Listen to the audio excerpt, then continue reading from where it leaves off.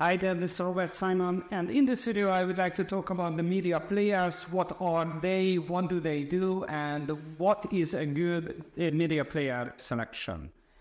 Basically, what they do is they display the digital signage content on the connected uh, screen. So on one hand, they are connected to a CMS server, download the data, download the information assets and everything else display it on the uh, connected signage screen. And of course, in the background, they are creating reports, uploading proof of play information, doing remote maintenance of the device, and many other things. So, on one hand, they have to be able to communicate to the CMS server.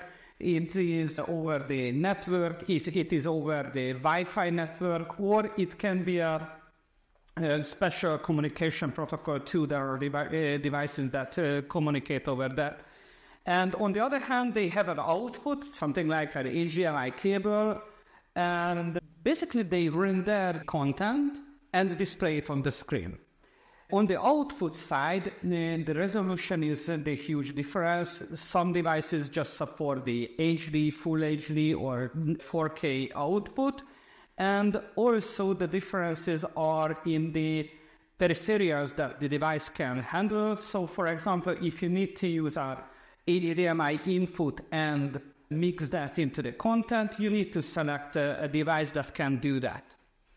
What are the differences? There are hardware differences. Of course, these devices are running a browser, a full screen browser, and basically, the browsers are a single thread application, which means that only one core is processing the, the content creation and the visualization. So it is matter that what kind of CPU is inside of the uh, device. The second one, how much memory does it have to be able to render the large images, run the uh, videos, preloading the videos to the memory to be able to play if there is a hardware acceleration for the video playback, so if it is played by the native uh, uh, video player or everything is done through the uh, browser itself, it's a huge performance difference.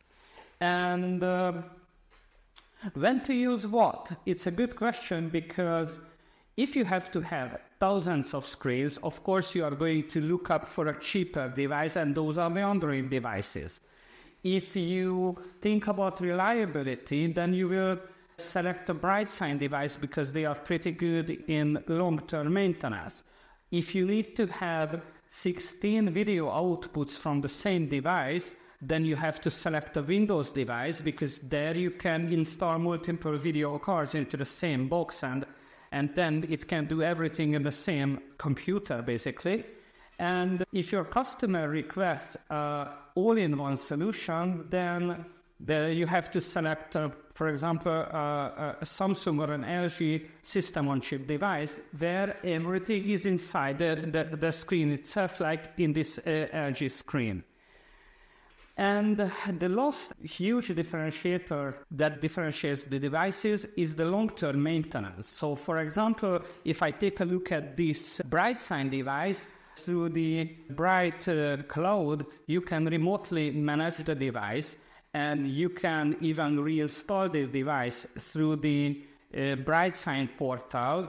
But if you use a cheap Android plastic customer or consumer device, you, you cannot do anything else but go on site, you know, climb to the back of the TV and disconnect the device and install everything manually. So the maintenance of an Android device is much more than if you invest more at the beginning into the price of the media player and you buy a bright BrightSign device, then your long life support will be cheaper.